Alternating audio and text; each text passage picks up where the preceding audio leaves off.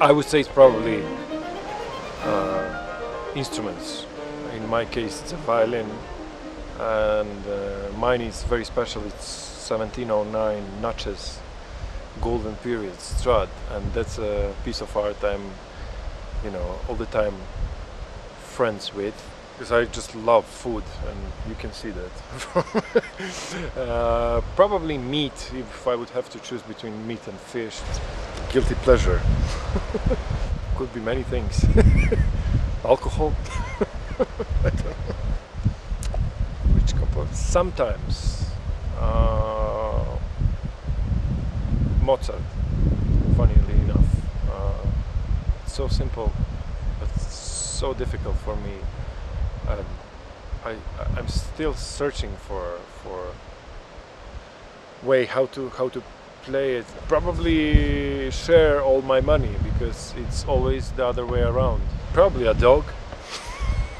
I drink beer. Beer I recommend. You know, beer beer you fall asleep immediately somehow always you know any any moment of the day or in the evening you know when you can't sleep yes, sometimes i see them through through my kitchen window and they cook. I don't see their I don't see their uh, bed, bedroom if, if you if you mean if you know what I mean. uh, in Russia, sometimes friends call me Roma. Never thought about this. Concert would be one of a little bit pathetic, but but you know that's what we do. That's that's our life. I would love to meet Novak Djokovic one day because this is the right way of thinking. The, you know, it's, it's very close to to our our mentality and the, the way he's just living his holistic life and and uh, just the way he is an unbelievable sportsman, unbelievable brain, great human being. That's somebody I'm really looking forward to meet for a long time.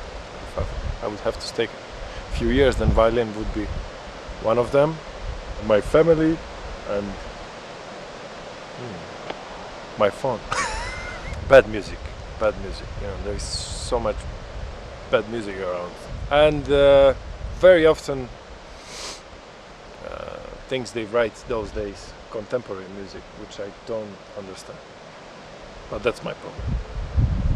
First, village of Magic Mirror, and the young conductor goes to this magic mirror, and if you don't say the truth, magic mirror eats you alive. And so he goes to the mirror and says, I'm so good. I did this uh, Beethoven cycle now and you know I won this Karajan competition and I, am so good. I think, I think I'm already better than Karajan. And the mirror goes